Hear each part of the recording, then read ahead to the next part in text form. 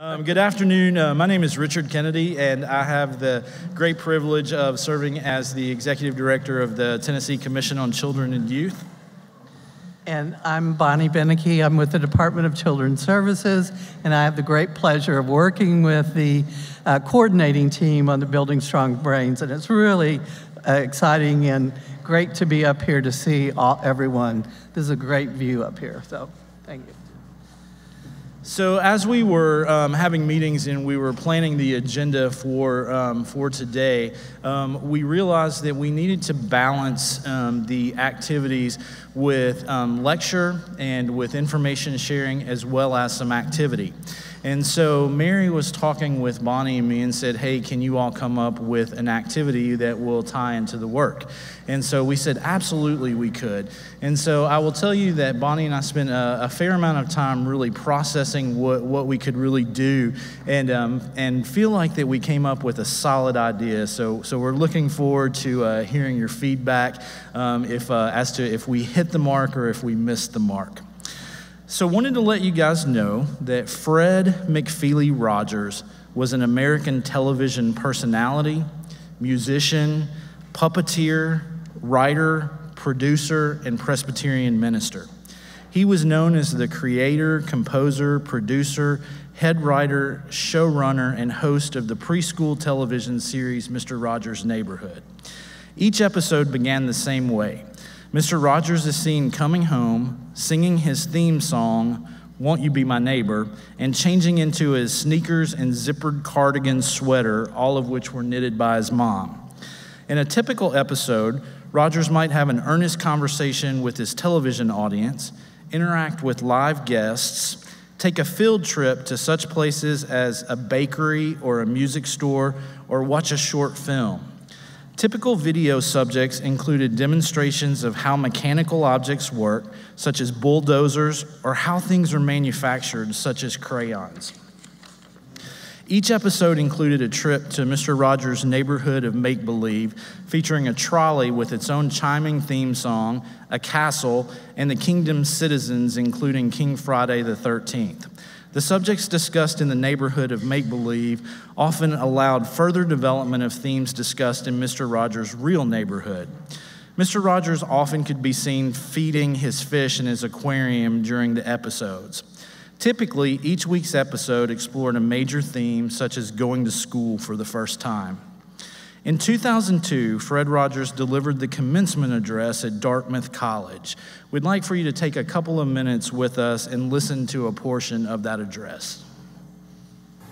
I have a lot of framed things in my office which people have given to me through the years. And on my walls are Greek and Hebrew and Russian and Chinese. And beside my chair is a French sentence from Saint Exupéry's Little Prince. It reads L'essentiel est invisible pour les yeux. What is essential is invisible to the eye. Well, what is essential about you? And who are those who have helped you become the person you are? anyone who has ever graduated from a college, anyone who has ever been able to sustain a good work, has had at least one person, and often many, who have believed in him or her. We just don't get to be competent human beings without a lot of different investments from others. I'd like to give you all an invisible gift a gift of a silent minute to think about those who have helped you become who you are today. Some of them may be here right now, some may be far away. Some, like my astronomy professor, may even be in heaven.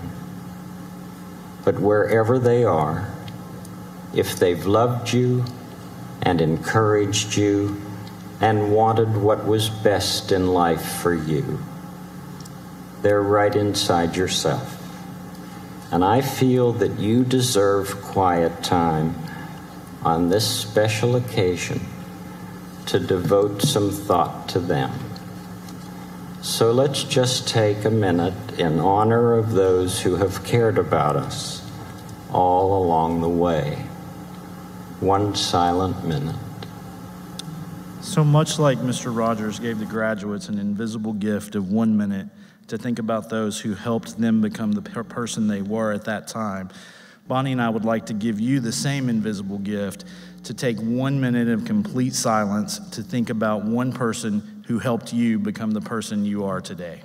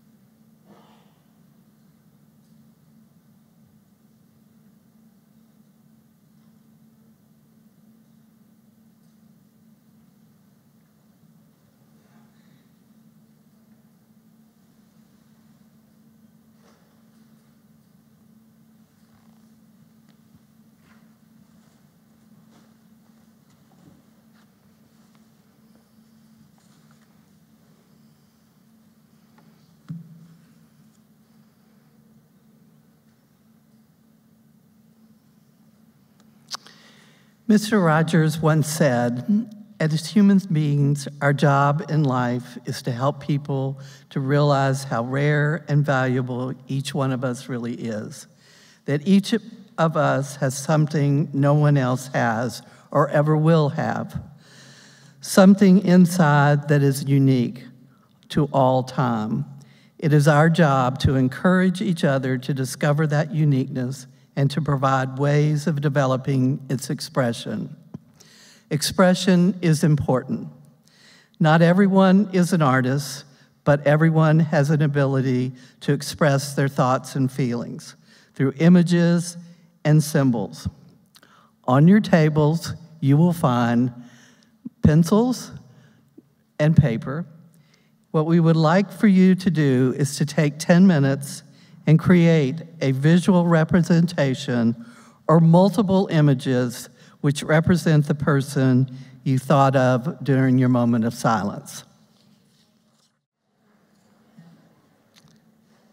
So now that you've completed, or it sounds like pe most people have completed um, their projects, what we'd like for you to do is to share with your neighbor at your table and then we would like for you to get up and to find someone that you don't know and to share your project with them.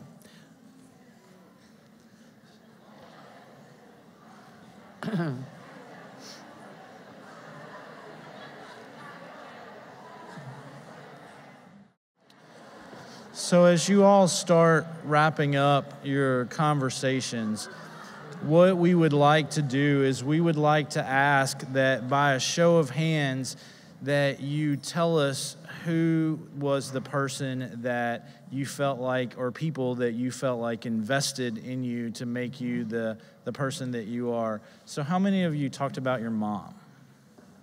Okay. How many of you talked about your dad? How many of you talked about a step parent? Okay how many of you talked about another family member? Okay. How many of you talked about a grandparent? Okay. How about a neighbor? Okay. How about a teacher or a coach? Okay. How about a faith leader, your minister, your priest? Okay. How many of you um, talked about a community member, such as a Boy Scout leader, Girl Scout leader, youth coach, 4 H person, someone like that? All right. Thank you all so much for, for sharing that information with, with us and, and the larger group. So, in closing, in, in one of his books, Mr. Rogers says, We live in a world in which we need to share responsibility. It's easy to say, It's not my child not my community, not my world, not my problem. Then there are those who see the need and respond. I consider those my heroes. And as Al Rays and Nat talked about today, the importance of having important people, children, and how important it is for them to have someone in their lives. We think that this concept and the thoughts that you have brought are in line with the goals of building strong brains. So we appreciate you all participating. Thank you.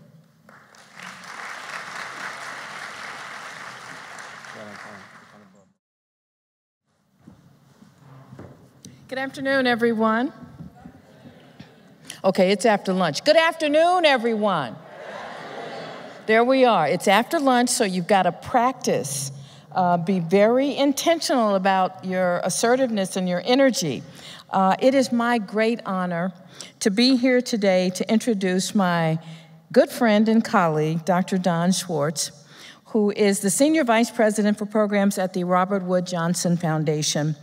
Um, and his in his role there, he guides their strategies on building a culture of health in America, enabling everyone to live the healthiest life possible. So you can see why he's been invited here today to talk about building strong brains. I, I, I was asked to keep this short, and it is after lunch, and now we follow Doc, Mr. Rogers. Um, so I just want to say a couple of things. I've been promised that because it's after lunch, you guys are going to enjoy a very interactive presentation. So get ready to start moving and thinking and talking amongst yourselves as he challenges you. But also, I want you to understand that as we have proceeded through today, this has been a very enthusiastic, energizing, educational, informative, and I think uplifting moment in the history of building strong brains. So, Don, take it away.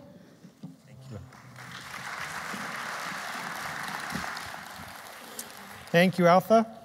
Good afternoon. Wow.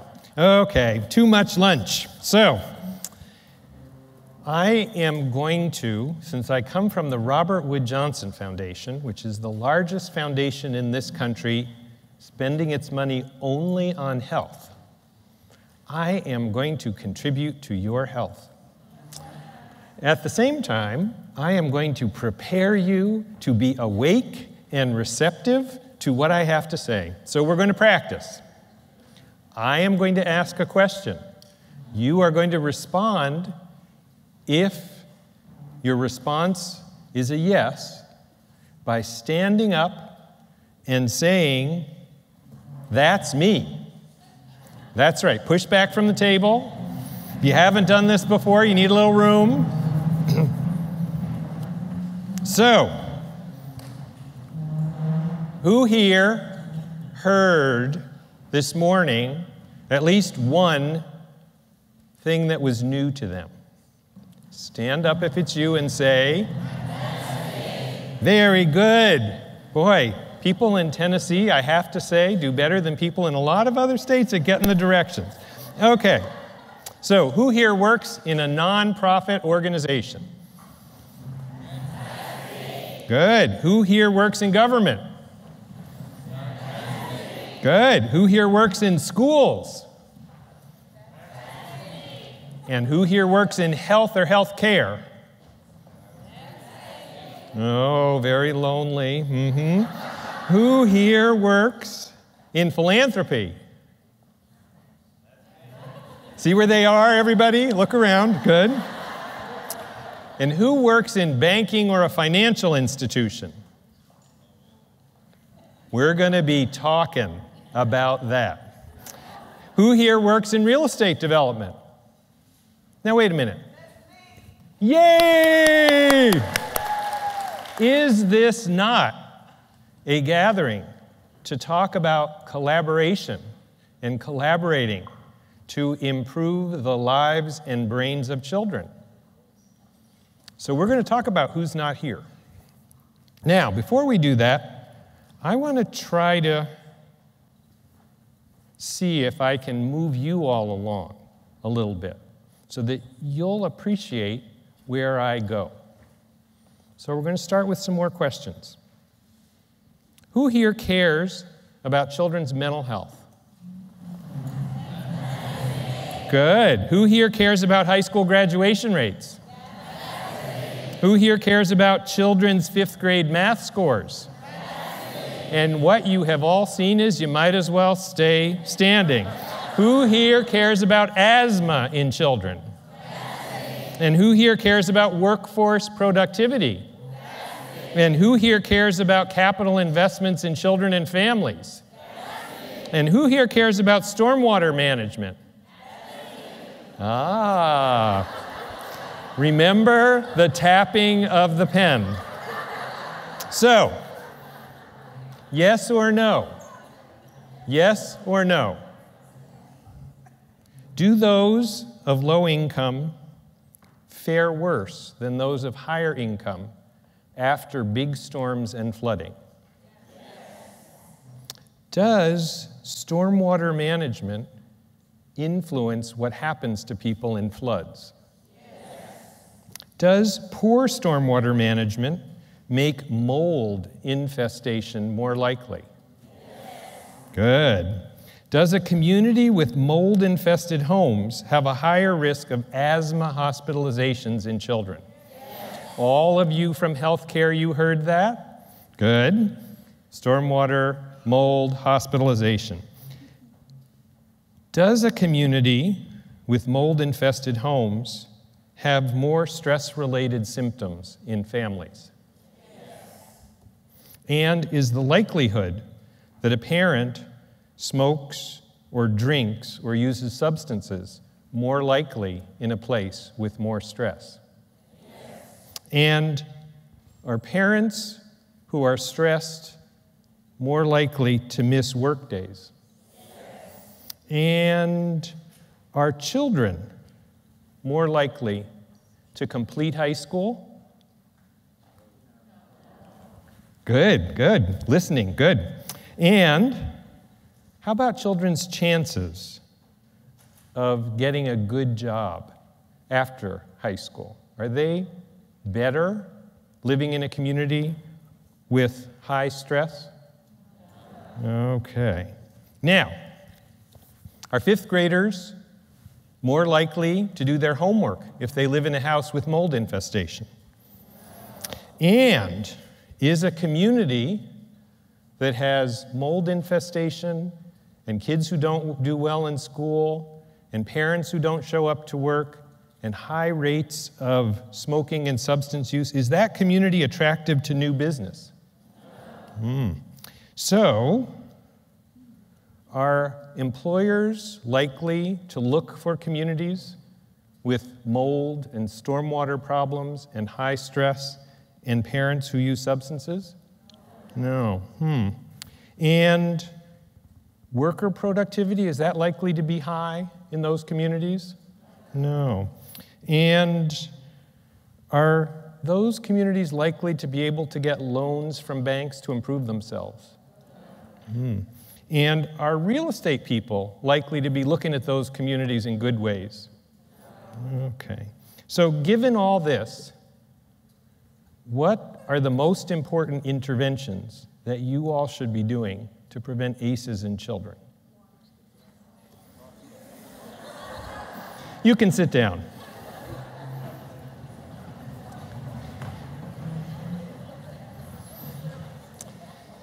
So, I come here because the Robert Wood Johnson Foundation believes in cross sector collaboration. And what we're seeing across the country is that in community after community after community, that collaboration is expanding in very exciting ways. Partnerships that nobody understood or thought had to happen before are suddenly beginning to happen. So that people who are working on children's mental health actually are advocating for better stormwater management. And people who have spent their careers thinking about stormwater are working in homeless shelters to assure that children's brains are developing well. And the common, common thought that brings everybody together is that we all want and need healthy children and families for the future of this country. So you are part of the mainstream, right? Yes, good. Because too often, I think, In place after place, people who work on ACEs think of themselves as either isolated or the only ones or at the leading edge. And actually, if we frame it right, everyone in this country cares about and everyone should be working to prevent ACEs from happening, right? Right? Okay, lunch is setting in. I am determined. Okay, with that background, I want to tell you a story. So, this is Todd. Todd was the front page story of the Philadelphia Inquirer, my hometown now, in November of 2010. And he was the front page story because his mother, Myra, had been a nursing assistant. And, and in 2007, just in advance of or during the recession, she lost her job.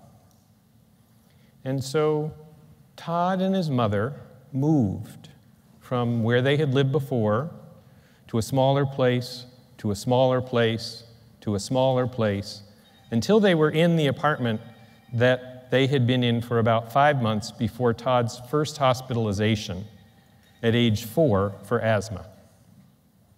And he continued to get hospitalized for asthma over and over and over again. And with his hospitalization for asthma, he didn't go to school, and his mother stayed home and tried to pursue all of the utility companies that she needed to go to to make sure that they still had electricity and they had running water and the home was habitable. But mold in this house constantly sent Todd back to the hospital. In the end, in 2010, somebody added up what the health system had spent in three years for Todd. And that came to well north of a half a million dollars. For half a million dollars, Todd and his mother could have had stable housing, she could have had job retraining, and the family could have moved on without the trauma. But that's not what happened. You saw Linda Mayes from the Yale Study Center in Matt's slides, Nat's slides. And one of the things that she talked about briefly was imagine what it's like when there's no let up in stress hormones. When people just live bathed in their brains in stress hormones. That was Todd. You guys have seen this lovely tree and I pointed out for Bill, who drew an incredible tree in the last, Bill Nixon, in the last uh, exercise. You guys have seen this? Yes, no, yes, no. Wake up, wake up. Yes, no. Okay, so this is from Wendy Ellis and Bill Dietz, and it's a tree that tries to represent what's called the pair of ACEs. At the top is adverse childhood experiences that we've talked about this morning that are familiar to all of you, and that many of you are engaged in trying to change, help, remediate. Yes? Okay, so we heard earlier today the questions what's wrong with this child and what happened to this child? The folks and the services and the issues at the top of this are all about what's wrong with a child and what's happened to a child. There are places in the country that are thinking, as are you, about what to do about this.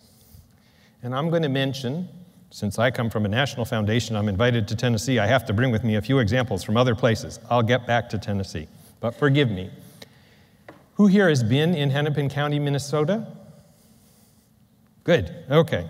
So, Hennepin County, on the county health rankings, Hopefully, everybody has seen the county health rankings, countyhealthrankings.org, where you can get information on every county in every state in terms of the health of children and families.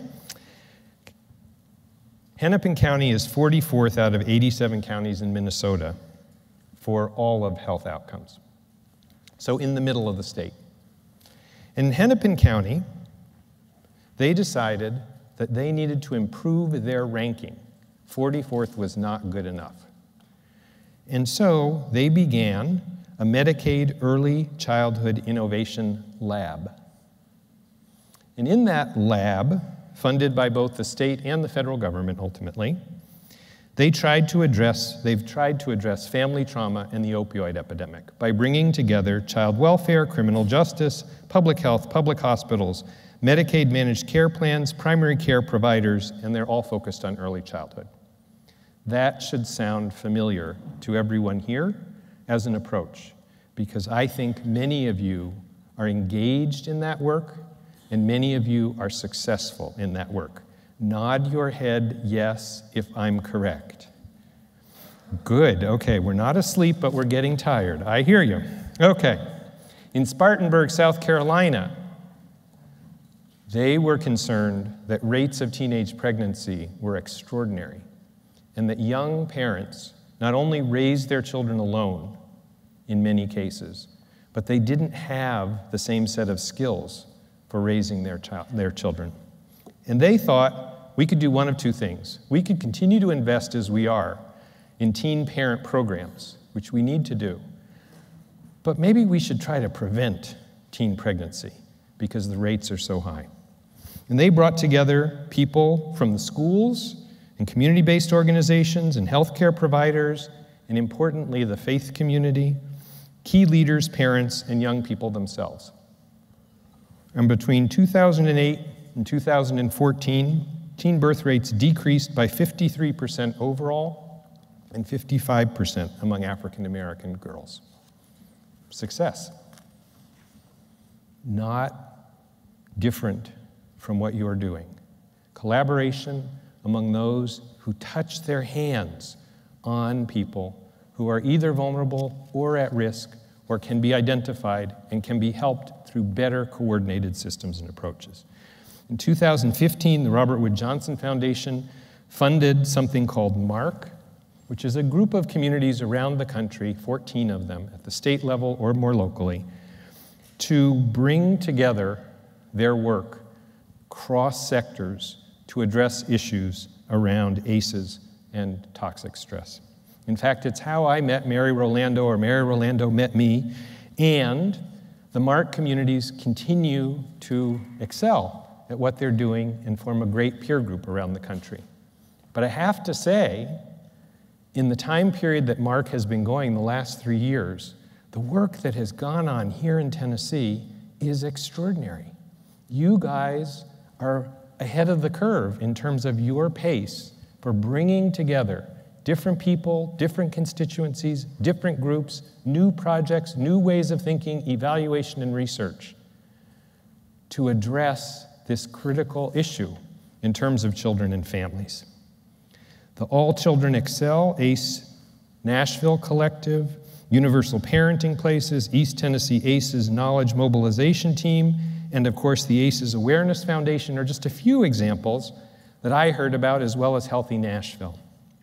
But how many of you here have heard of Invest Health in Jackson and Knoxville? And how many people here have heard of Spark? Yay, Spark! Anyway, um, both of these are collaborative efforts in communities around Tennessee and nationally to change the conditions in which people live. Not to look at the top half of the tree, but to look at the roots. To get to those adverse community environments and change those environments. And to not do it alone, but to go after the really hard things like poverty and discrimination collectively in communities and change the opportunities that people have to live healthy lives. We heard this morning a bit about poverty. And people ask the question about whether poverty, as such a global issue, which isn't included in the original ACEs, but most people, I think, would say it's an ACE. We heard about poverty. And nationally, as we hear about poverty, the big question that I get when I talk is well, all the things that can be done about poverty are either really complicated or uh, we just don't think it can happen. And even if we did something about poverty, Like, would it make that big a difference? Well, how many people here know about the Great Smoky Mountain study? A few. Good. Well, the Great Smoky Mountain study happened just over the border in North Carolina. And it was one of the larger studies of children's and ultimately adults' mental health. So I don't know the Great Smokies, but supposedly that's a good picture. You guys will have to tell me if I got it right. This was a study that began in 1993 with 1,420 youngsters aged 9 to 13. Very important age, 9 to 13. And I'm going to come back again several times from here forward about age. So remember, 9 to 13. The kids were recruited from 11 counties in North Carolina, and they were recruited in order to begin to understand how poverty and other factors ultimately affected mental illness, both in children and in adults, and how treatment changed the course of that progression from childhood into adulthood. Everybody with me? All right. Mm-hmm. Okay. And what they found was that there actually is a really important progression from children until adulthood, and they began to map out some of the, the important pieces. But at the same time, this particular set of counties included, as you probably know better than I do, a Cherokee Indian reservation. And that Cherokee Indian reservation, during that time, opened its first casino. Anybody been to the casino? A few. Good. And it turned out that of all the kids in the study, 350 of them were Cherokee children. So this study allowed people to understand what happened to the mental health and mental illness in children during a time when a major change occurred in their environment. And the major change was when the casino opened, the tribe had resources. And the woman chief of the tribe decided we're going to try an experiment. Rather than creating a big bank account, we're going to take the resources that we earn and we're going to give them to every member of this tribe who is a child. And it's going to change over time. Depending on how much income we make, that's how much income people will get.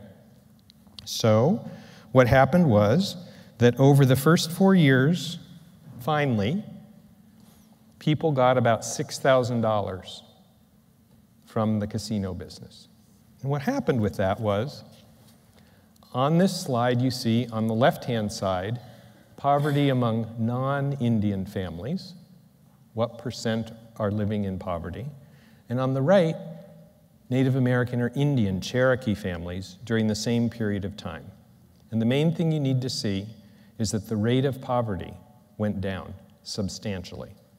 So, in the first two years, the rate of poverty in Cherokee children was reduced by 14%. $6,000 over four years is not a lot of money, but really important. More importantly, at the end of the study, what they found was that the rate of psychiatric disorders and symptoms among children in those families declined significantly. Just giving a small income supplement to those children and families within a tribal situation, so this was a shared resource where everyone made a common decision to invest in children, made a substantial difference. On average, over the period of this time, families received $35,000, more than one child. They had a third less psychiatric disorders in children, and those reductions when those children grew into young adults were particularly around alcohol use, cannabis use, or substance dependence, which are pretty costly things to a tribe or society. What it shows is that poverty itself can be fixed with money, and if we do something about poverty with money, it may actually make a big difference to the health and to issues that we think of as so intertwined with ACEs. So, in this country, as you guys know, poverty is generally about place. Where you are, in many ways, determines your opportunities for earning, your opportunities for your livelihood, how discriminated you may be, and how likely it is that your community will get better over time. I don't know if you've all seen the CDC's, the Centers for Disease Control's 500 cities reports, but now for cities with 50,000 or more people, excuse me, 70,000 or more people uh, throughout the country, you can get at the census tract level 27 measures of health. Census tract is like the neighborhood. So we can begin to look. This is for Nashville. You can see, you know better than I do. On the left hand panel, you can see poverty in Nashville, and on the right hand panel, you can see mental health among adults in Nashville. And here's the same for Memphis. And you can look at other cities in Tennessee, and you can look at other cities across the country, and we can begin to pick out neighborhoods. And with those neighborhoods, we can compare across cities neighborhoods where poverty and mental health issues don't go together to try to figure out what are the resilience factors in those neighborhoods. What we know, though, is nearly one fifth of all Americans live in neighborhoods that make it hard to be healthy, and that number gets bigger to about one quarter of children. We are raising our children in places where we know it will not be easy for them to be healthy. And the question is what can we do about that, and how do we understand what's going on in those neighborhoods? I think all of us have had the experience of driving through a neighborhood where we know there's disadvantage. You sort of know it in your gut. You may know it because of the color of people's faces. You may know it because you won't see a supermarket. You may know it because trash hasn't been picked up, or the schools don't look so good, or you're afraid and you get that scared feeling in the pit of your stomach, or the streets aren't as well paved, or the lights don't work. We all know disadvantaged communities. But part of the question is where are they? What makes them disadvantaged? Is there something specific that we have to do? Independent of what we've learned from the Cherokee Nation that money helps, what specifically needs to happen? So I'm going to show you through the rest of this a series of maps. And the idea of these maps is to begin to think about what's going on in Tennessee compared to the rest of the country.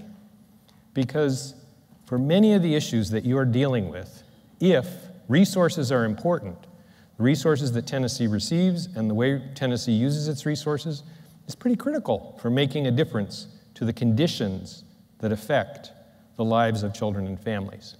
So, this is neighborhood disadvantage. It's a measure that was first released this year in an article from the New England Journal of Medicine. I'm happy to provide the reference for anyone who wants to see it. And as best as I can do it, I put these funny ellipses over Tennessee. You guys can laugh at me as somebody who's a northerner and doesn't quite know where exactly, but I tried my best.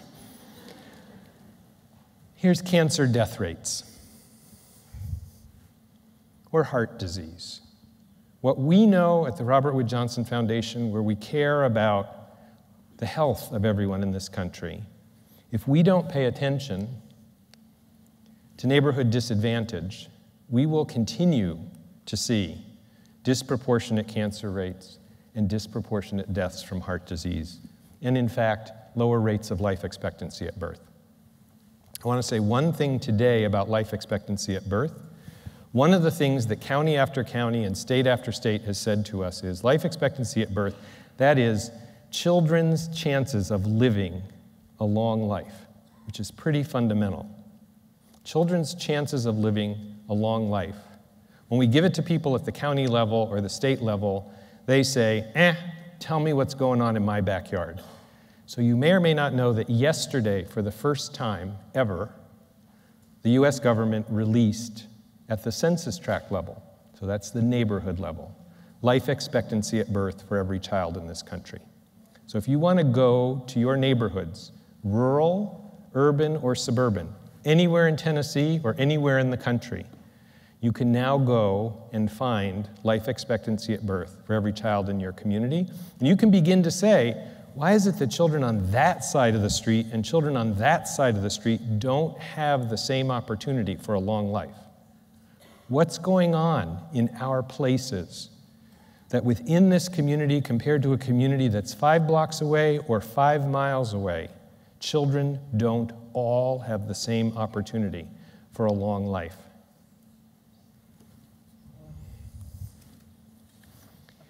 One of the other things that I hear a lot is even if we do this, so let's say we picked up all of the children in the north part of Memphis and we moved them to the south part of Memphis, would that make things better?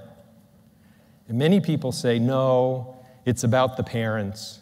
No, it's about the family. Do conditions make a difference to opportunity? Just conditions. Living with the same family, do conditions make a difference? Well, in 1994, the federal government, through the Housing and Urban Development Department, did an experiment, a real randomized controlled experiment, like the ones that we heard about earlier. And they said to 4,600 families in five cities listed on the slide, we are going to, if you agree, randomly assign you. You're currently living in public housing in a poor community in this city. And we're going to give you, by chance, one of three opportunities. One opportunity is a new house, new apartment in this community because they picked people who were in poor communities in public housing where the public housing was being demolished. God bless you. And they said to those folks, a third of you get to stay in this community and other public housing developments.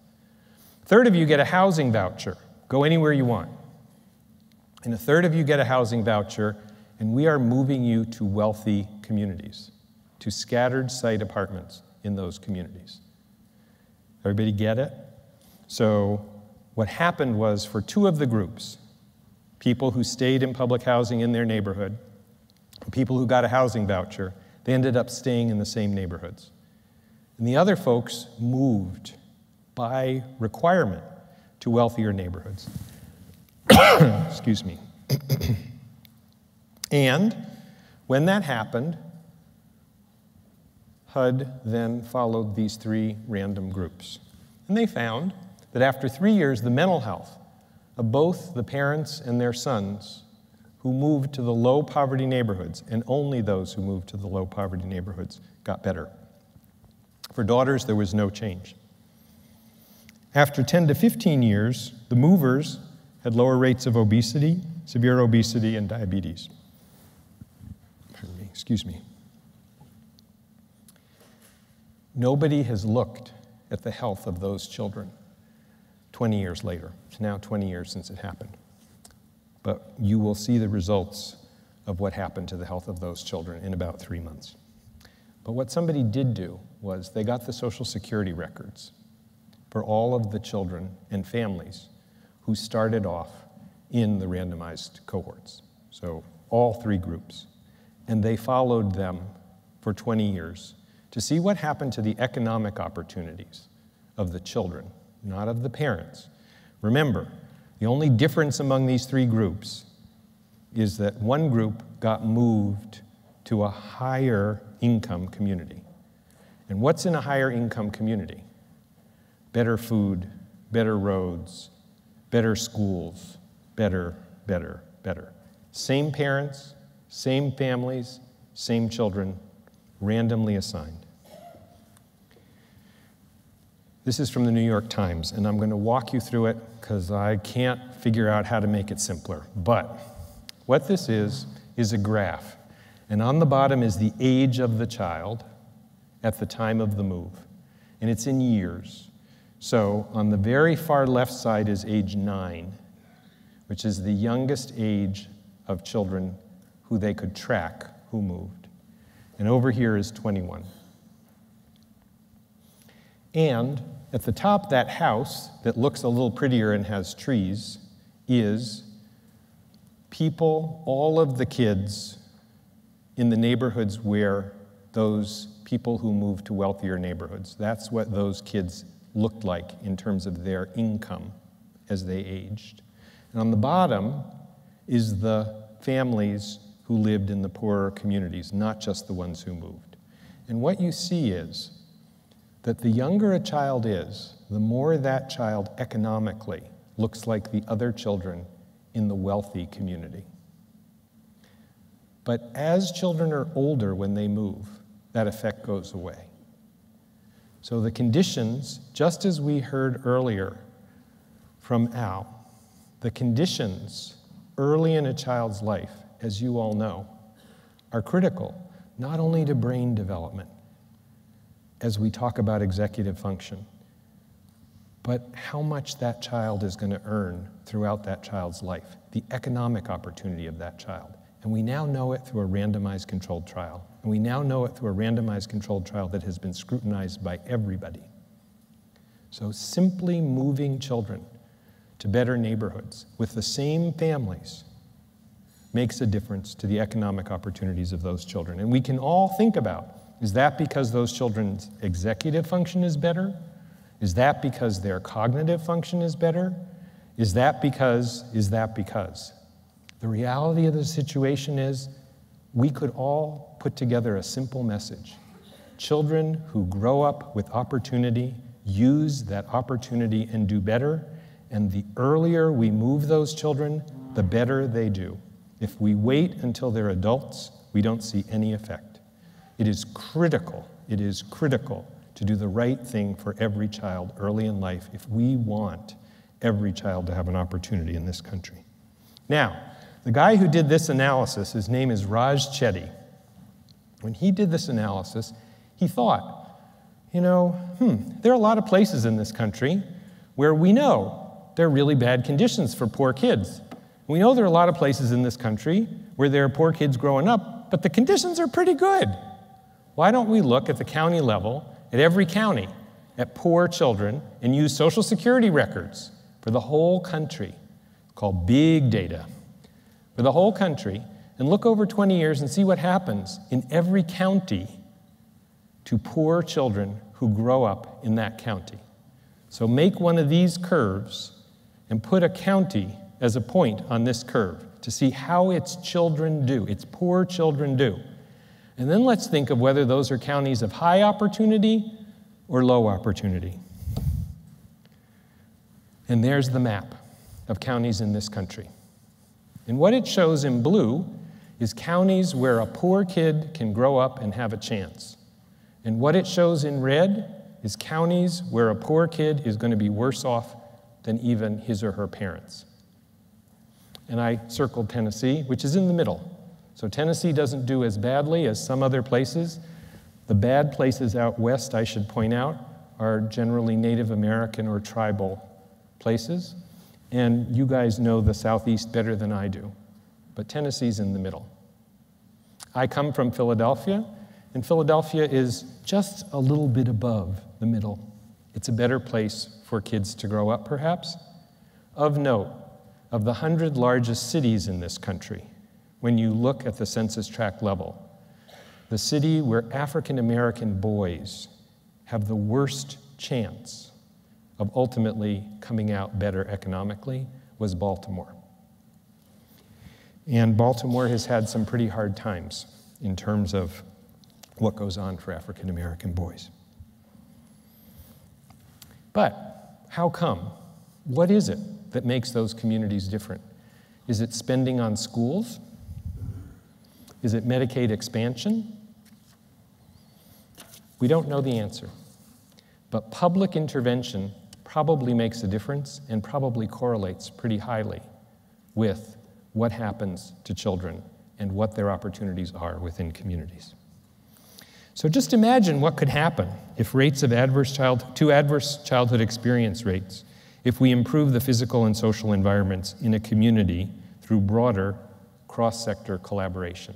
If everybody, everybody, the people who build communities, the people who staff communities, the people who help those children and families who are struggling, everybody work together on collaboration in order to assure not that every child who was traumatized was identified and helped, but that there were no children who experienced trauma because of the conditions in which they lived. Can we even imagine what that would be like? To do that, we probably need to bring community development and child development together. What I want to do for the rest of my time is to tell you that it's happening, to explain where and how it's happening, and maybe even get you a little bit interested in having more than just one person who does real estate in the room. Everybody with me? Good. So, how many people here have been to East Lake Meadows in Atlanta or played golf at East Lake Golf Course? Okay, there's one or two. All right, so in 1995, East Lake Meadows was the worst public housing development in Atlanta. At that time, as you can see, they had 18 times the rate, the national rate of crime. They had $35 million worth of local drug trade, the most of any development in small neighborhood in Atlanta. 40% of the units were uninhabitable, which does not mean they weren't inhabited, and even inhabited by families with children. 30% of the kids in the development ever graduated from high school, and 15% of the adults were employed. And what happened? Two women in that development got really angry. And they stormed into the housing department for the city of Atlanta. And instead of getting turned away, the woman who was the deputy director of housing for the city of Atlanta said, Okay, you want to make it better? I'll help. This new deputy director, who had only been there a year, came from banking and investment. And she couldn't understand why housing developments in Atlanta couldn't be better. So she joined with these two women, and they said, We are going to find every opportunity to invest and improve this housing development. And we're going to give everybody an opportunity to live where they want to. They can stay or they can go. But if they stay, they're going to live in better places. And we're going to use the resources that we can do, both the public housing resources, private investment, anything we can find, grants and philanthropy. And in 2018, that's a picture of the same building having been redone. There's been an 86% reduction in crime, 97% reduction in violent crime. 99% of the kids in this community graduate from high school on time. 100% of those who graduate have a college acceptance. And 100% of the able bodied adults are employed. I would call that a victory, yes? Exactly. In 1995, 100% of the people living in this community were African American. In 2018, 100% of the people living in this community are African American. Now, that's segregation. But it's segregation with opportunity, which is not good enough, but it's better than the alternative. And what is happening now in that community is extraordinary when it comes to the schools. Because remember, schools are a critical part of children's development, as you know. So the villages of Eastlake, as they're now called, you see on the far side, on the left, their new high school. I looked at it and thought, wow, that's like an industrial park. No, new high school. You see the playing fields, and if I got you a close up on those playing fields, what was most extraordinary to us from the Robert Wood Johnson Foundation when we went there was we didn't see an overweight child. Not one. And we looked at them and we said, mm, How'd you do it? What was your intervention? We've been after obesity for a decade. We're still not winning. What did you do? They said, We haven't done anything for obesity. Food's available, they have exercise, and the parents are employed. Kids go to school, nobody's obese. Here you have the kids playing golf. One of the Masters golf courses is East Lake. It's right next to the development. One of the first things that people did in 1995 was to march over to the golf course and say, You hate us being here next to you, employ us. And we guarantee that in 20 years, you're going to love us. The Masters loves this community. They are investing in scholarships for the 20 top golf playing kids in the high school. And there you see the largest collection of student harpists in Georgia. It's a beautiful place. If you haven't visited, I encourage you to. Purpose Built believes that you need a community quarterback who didn't exist before things started to get better. That is, they create anew with local philanthropy a community quarterback who doesn't have any history in the community, who doesn't have any preconceived ideas, who only has front and center the betterment of children and families in the community. And they bring together mixed income housing, so poor people and not poor people all living in the same place, cradle to college education pipelines, and community wellness. Period. Simple. They create better environments, and children do better. One of the things that we're helping them do is look at what has happened to ACEs within the community, but we're just starting that work.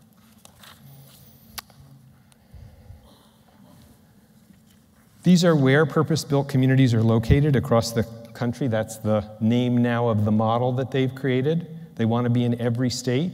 They don't yet have a site in Tennessee, I'm just saying, and they may be talking to people here, I don't know. But in your communities, you have an opportunity to have the model come to you for free. So, what I want to say in the last couple minutes is I think for too long, those of us who have worked to stop adverse childhood experiences and their impacts on children have not thought big enough. So, I want you to think bigger. How many people have been to Itta Bena, Mississippi? Yes. How many people have seen the community garden in Itta Bena? A couple. Well, the community garden in Itta Bena was started by seniors who had learned farming and gardening from their parents, and they began teaching teenagers and other kids because they couldn't do the heavy lifting themselves. Itta Bena is one of the poorest communities in Mississippi. 19%, 19% of the children in Itta Bena are no longer food insecure because of the food that's grown and kept, either uh, canned or otherwise, from this garden. It's an enormous community resource. What I love, in the background, you can sort of see the new housing that is developed in Itta Bena. Itta Bena is a community that is trying to move itself forward you got to think bigger. So, how big, particularly for all of you who have expertise that I have to tell you the people in community development around the country would salivate over all that you know and all that you can do and all that you can offer? This is Potrero Hill Public Housing in San Francisco. It is one of the four remaining public housing developments in San Francisco, and it has been the worst. It's built on a hill, as you might think, and it is awful. There are units at Potrero that still have dirt floors. We took a tour of Potrero, and at one point we had a choice. We could walk through a place that was lined with old condoms or a place that was lined with injection needles. And it was the pathway that the children of this community had to follow to go to school every day. But the San Francisco Public Housing Authority and the mayor's office and others have come together and they are rebuilding Potrero. But they're not just building a new public housing development, they're building the first in California trauma informed public housing development. Anybody here ever heard of a trauma informed public housing development? It doesn't exist. They're creating it from the ground up. And they're doing it by taking the best of trauma theory and the best partnerships, not just with academics, but with practitioners, to figure out how do we create a place where people don't have to wait in line? How do we create a place where the people, the children in public housing have positive experiences? How do we create a place where we build in incomes, uh, employment supports for parents? How do we tie it to public transit? What do we have to do about the food environment? Let's create this community from the ground up to not traumatize our children. And they're doing it. And they're happy to share what they're doing with anybody in this room. And finally, I want to talk a little bit about hospitals, since there are some healthcare people here and there's some other people who should be fingering healthcare people here. Hospitals, I think, are an incredible resource. And I want every hospital in the country to invest in its community. Now, many who are here will say hospitals are investing in their community. And I know that there are people here who are working in hospitals and health systems that are doing that investment.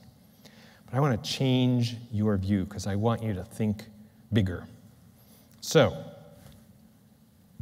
if hospitals invest in their community, they get healthier patients. And these days, if you have healthier patients, you can make a lot of money. We know from a report that was done looking across the country at what hospitals are doing in their communities that hospitals and health systems have a variety of assets, assets, such as financial resources, land, and expertise that would make them valuable participants in the community investment system. A small but significant cohort of institutions have taken bold steps and engaged in investment discussions on transactions. In other words, hospital CFOs have suddenly said, we got to invest in communities if we want healthier people. And when they do it, they not only get healthier patients with lower healthcare costs, but their reputation gets better as good citizens. That's a good thing. And they have lower costs for safety and physical plant maintenance. And it's easier to recruit staff, and you have healthier staff, so their healthcare costs go down. So there's an economic reason for hospitals to invest in making the conditions in communities better for children and families. And it's happening. So, the big thing that happens, though, that nobody talks about, is when communities around hospitals get better, property values go up. So the hospital's value goes up. So, what could a health system provide to community investing? Rather than hospitals saying, we're going to have the world's best program to heal people with ACEs, which we need to do. I am not saying that's not important. But in addition, how about investing in making it so the next generation of children aren't exposed to trauma? In Camden, New Jersey, one of the poorest communities in New Jersey, the health system in Camden decided that the communities around the their hospital, Cooper University Hospital, were horrible and children were growing up under horrible circumstances. This is one of the blocks that's pretty average for the community around the hospital. Here's another. And so they said, we're going to create a revolving credit system. We're going to map every house. We're going to figure out what people need. We're going to work with our community one on one. We are going to make this a better place for children, for our patients, for our employees. That was the first set of houses that they completed together with community members. And that's one of the new parks with a fountain. And what you don't see is the police who wander by, because it's now the part of Camden, New Jersey where police most want to be assigned. Not a family was displaced from this community. Everyone who started off living in this community still lives in this community. Every house was rebuilt with people's specifications in mind. And at the end of the day, which was five years, it cost the hospital about $3.5 million total. That's it, which is nothing in terms of healthcare costs for the population living in that community. Dignity Health, oh, excuse me, the Children's Hospital of Philadelphia said, This is what a playground looks like for children in one of our service areas. This is the new playground.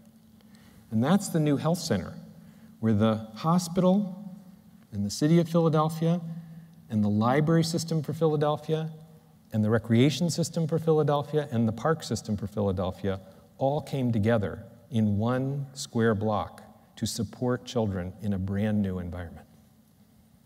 The greatest amount of funding came from the hospital.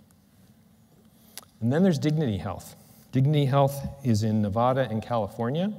They're the largest hospital system in the country, uh, one of the Catholic health systems, so they're very mission driven. They give direct loans, they give investments of various kinds, lines of credit, linked deposits, and so forth. Generally, they do it over a relatively short period of time and at a low interest rate. And in, for instance, San Bernardino, California, they're using their expertise as people who have to build buildings because they build lots of hospitals to teach people in San Bernardino how to pull down every possible dollar that's available in order to rebuild communities that are really entrenched and poor, where children are growing up in the worst conditions in San Bernardino. So, How does it happen? Well, hospitals have to do community benefit. You guys have heard that perhaps. Anybody heard that hospitals have to do community benefit?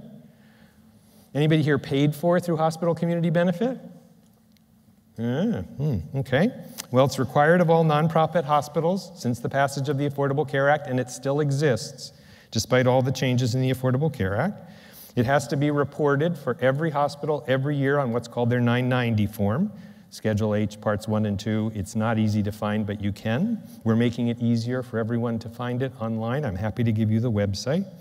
Most of the dollars go to what are called unreimbursed patient expenses, which is what the hospitals have to discount their insurance costs for uh, insurers. But in Tennessee, about $40 million each year comes from hospitals for community health improvement and community building, not patient care expenses, real community building. That's more than the state of Tennessee puts in annually for all of its community development investment. The scale of hospitals and healthcare systems is such that it dwarfs the scale of community improvement investments. Tiny investments in communities can make an enormous difference to the conditions for children and families. And there are federal resources and there are private resources. And once somebody creates an investable opportunity, communities can improve. One new opportunity is called Opportunity Zones. It passed with the new tax bill. And it creates incentives for people of wealth who own property to transfer, when they sell that property, the wealth into communities of entrenched poverty throughout the country. The blue spaces on this map are opportunity zones in Tennessee, where investment is now an inducement for people who want to put their wealth into community building in places with entrenched poverty. So remember Todd? Well, Todd's story began, remember, in 2007. In 2017, Todd and his mother had connected to actually a community development group in Philadelphia. They are living in spectacular housing. Todd is now getting ready. He's in high school. He's looking at colleges. His mother is employed. She's gone back to school. She's doing great. And Todd no longer gets hospitalized for his asthma. It can happen. But the kinds of partnerships that were required to make it work for Todd included those people who did case management, the social service system that was getting ready to take Todd away from his mother, the healthcare system that was providing lots of service at very high cost for Todd, bankers, investors, housers, people who understood more than the homeless system, but rather the low income housing system, and then people who made all of that come together, the people who link in the middle. You guys are on the right path, and you have enormous opportunities. None of you will be people who are going to be building houses or changing conditions because you have expertise that's critical, but it's particularly critical to people in other sectors that you might not have thought of partnering with. I'm here to say change the conditions, think bigger. Don't just think how do we take damaged children and help them? That's really important, but think bigger. In a generation, what would it be like if children no longer experienced trauma? If we don't believe it can happen, it won't. In your hearts, you have to begin to believe that we can have a society, we can have states and cities where children no longer have to experience trauma. Thank you for all you do. Uh,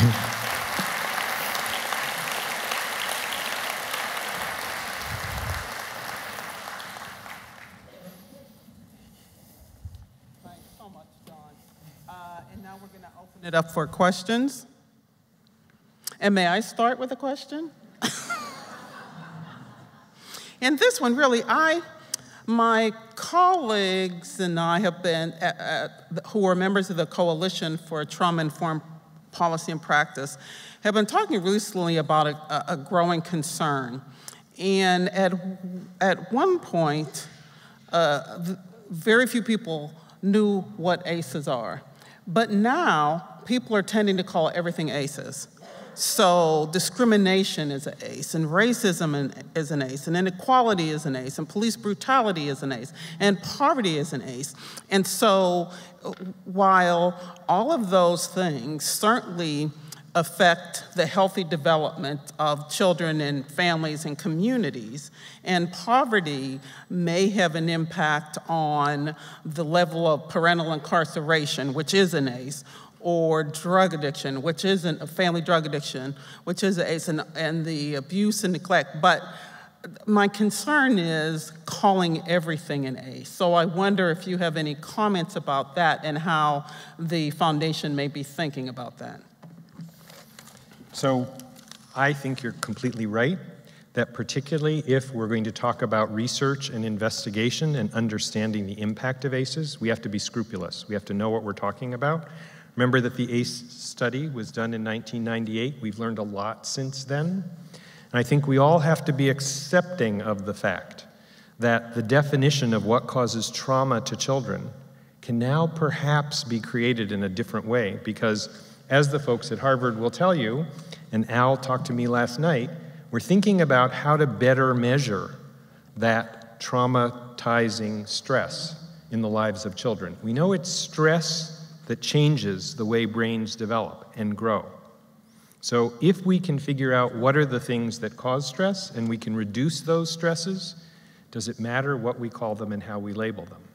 I think the importance of ACEs is that it has helped us as research be able to say with certainty that brain development is impacted by certain kinds of trauma and that stress is a critical common factor. But I think we all need to be prepared to give up a small list of things that may be called ACEs in the long run in order to have children who live in less stressful, who live less stressful lives. So, other questions? Uh huh.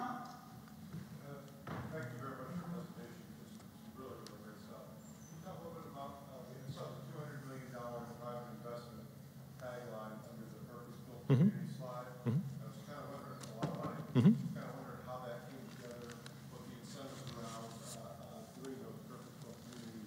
Mm-hmm. Sure. Um, the question was there's a big price tag, $200 million of investment, private investment, under the purpose built communities. That's private development and bank investment in those communities. Because as you know, to do development at scale, somebody has to invest. The issue with investment is can you get a return on your money? And the general way that people get a return on money when you invest in housing is by rents or ownership and getting fees back. And that's there to say what has happened at Purpose Built is people have been able to get a return on their investment by investing in poor communities because the communities get better, people get better, the conditions get better, and lots of people now, the school to send your kids to in Atlanta, if you're going to the private, private, excuse me, the public school system, is that high school I showed you. So that's an integrated high school. That's a high school that everybody wants their kids to go to in Atlanta. That means there's value in that neighborhood, and that value translates to private investment. They now have grocery stores and drugstores and banks and everything else that are growing up as retail within the community because it's a desirable place for people to invest. And they require, they require that 50% of all the units in that community be low income. And still, there is a return on investment. Well, we have done an absolutely phenomenal job of staying on time. So we're going to close out this session and thank uh, Don once again.